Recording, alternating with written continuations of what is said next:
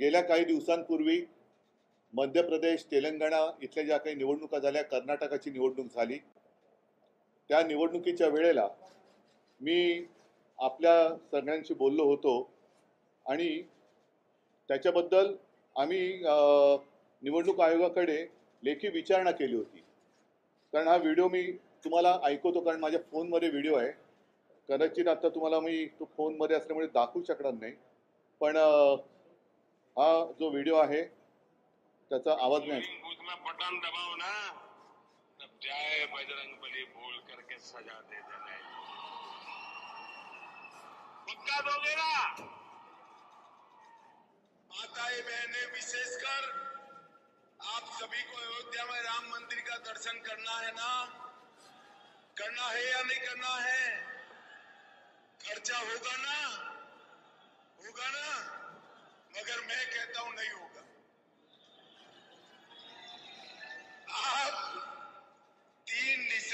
भाजपा सरकार बना दो भाजपा मध्य प्रदेश सरकार सभी को बारी बारी फ्री ऑफ कॉस्ट अयोध्या में रामलला का दर्शन करा देगी मला वाटतं आपल्या माध्यमातून हा आवाज जनतेपर्यंत पोहोचला असेल. हे परत तुम्हाला ऐकवण्याचं कारण असं की त्याच वेळेला आम्ही निवडणूक आयोगाकडे एक विचारणा केली होती. तक्रार नव्हती केली विचारणा केली होती. आणि त्याला कारणही तसंच होतं. हिंदू हृदय सम्राट शिवसेना प्रमुखांचं निवडणूक लढवण्याचा किंवा मतदान करण्याचा अधिकार हा निवडणूक आयोगाने अटलजी पंतप्रधान असताना काढून घेतला होता. त्यांना सहा वर्ष निवडणूक लढवायला देखील बंदी केली होती. याचं कारण त्या काळात त्यांनी हिंदुत्वाचा प्रचार केला असा त्यांच्यावरती करप्ट प्रॅक्टिस असा ठपका ठेवून हा निर्णय घेतला होता. आणि मग त्या निर्णयाच्या पार्श्वभूमीवरती हे जे आपले पंतप्रधान आणि आपले गृहमंत्री उघड उघड धार्मिक प्रचार करतायत हा प्रचार आम्ही निवडणूक आयोगाला पत्र लिहून विचारणा केली होती की अशी काही आपण यांना सूट दिलेली आहे का? किंवा निवडणुकीच्या कायद्यामध्ये काही बदल केला आहे का? की पूर्वी हा आमचा अनुभव आम्हाला आल्यानंतर आज तर देशाचे पंतप्रधान आणि गृहमंत्री बजरंग बली की जय बोलून बटन डाबा सांगतायत. अगदी कचा नाही बोलले तरी बटन डाबा बोलतायत. अमित शहा तुम्ही आमचं सरकार आणल्यानंतर रामलल्लाचं दर्शन मोफत करू असं आश्वासन देत आहेत हा निवडणूक आचारसंहितेमध्ये मान्य केले गेलेला नियम आहे त्याच्यात बदल केला आहे का हे आम्हाला पाहिजे होतं. त्याच्याबद्दल परत एकदा स्मरणपत्र देऊनही निवडणूक आयोगाकडनं आम्हाला काही उत्तर आलं नाही.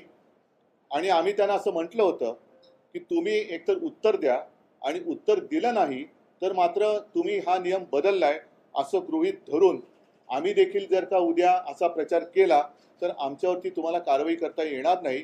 अन्यथा जर तसा नियम के बदलला नसेल तर यांच्यावरती काय कारवाई केली ते आम्हाला सांगा. आता आज हा विषय पुन्हा काढण्याचं कारण असं की गेल्याच आठवड्यामध्ये आमची निशाणी आता बदललेली आहे.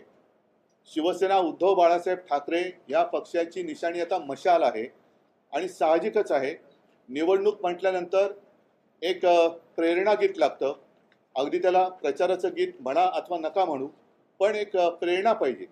जसं पूर्वीचं आमचं एक शिवसेनेचं गीत आहे ते गीत गावागावात खेड्यापाड्यात आजही कोणताही कार्यक्रम असला तरी जनता आवडीने आणि उत्साहाने ते ऐकते वाजवते गाते तसंच आम्ही मशाल गीत हे आपल्या माध्यमातून संपूर्ण महाराष्ट्रासमोर ठेवलं होतं याची तुम्हाला आठवण आहे शिवसेना भवनमध्ये. ज्या वेळेला निवडणूक आयोगाकडे गीत गेलं तेव्हा निवडणूक आयोगाने आम्हाला काल पत्र लिहिलेलं आहे आणि त्यातले दोन शब्द त्यांनी काढायला लावलेले आहेत. आता हे शब्द कोणते आहेत? तर त्याच्यामध्ये एक कडवा असं आहे की हिंदू हा तुझा धर्म जाणून घे हे मर्म.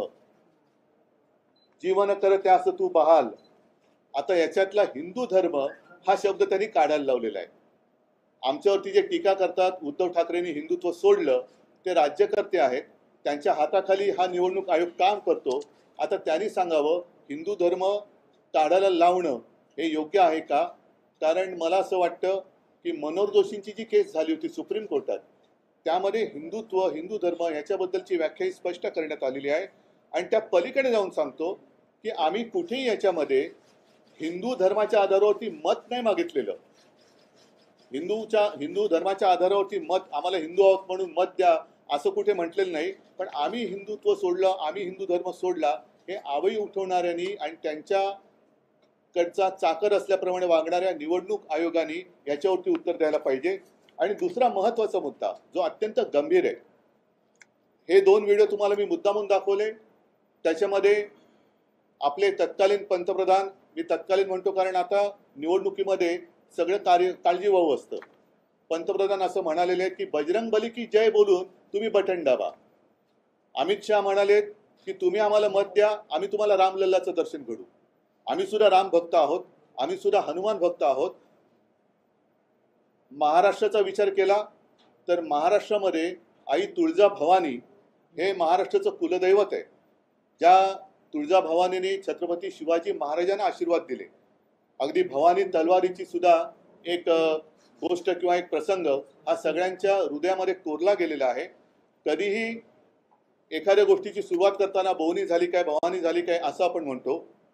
आणि गेले कित्येक वर्ष जय भवानी जय शिवाजी ही घोषणा ही जनतेच्या हृदयामध्ये आहे. अगदी महाराष्ट्राच्या कडे कपारीत काना कोपऱ्यात गल्ली बोळात सगळीकडे जय भवानी जय शिवाजी ही घोषणा आहे.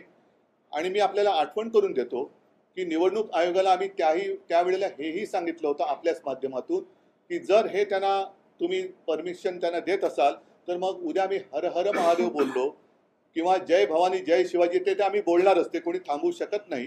तर तुमचा आक्षेप असता कामा नये. आता ते गीत जे आम्ही तुमच्या माध्यमातून जनतेसमोर दिलं होतं त्या गीतामध्ये त्या गाण्याच्या जोश एक वाढतोय आणि त्याच्यात बॅकग्राऊंडला ज्याला आपण कोरस म्हणतो किंवा बॅकग्राऊंड म्हणतो त्याच्यात जय भवानी जय शिवाजी ही घोषणा आहे ही घोषणा आहे. आणि त्या घोषणेमधल्या जय भवानी हा शब्द काढा हा निवडणूक आयोगाचा आम्हाला लेखी फतवा आलेला आहे. आम्ही कोणत्याही परिस्थितीत जय भवानी हा शब्द काढणार नाही.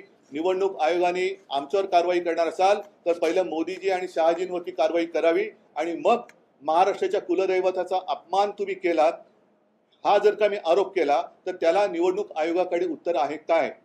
हा महाराष्ट्राच्या अस्मितेचा आणि दैवताचा अपमान आहे. आणि महाराष्ट्राबद्दल आकस या राज्यकर्त्यांच्या कृतीतून दिसतोय.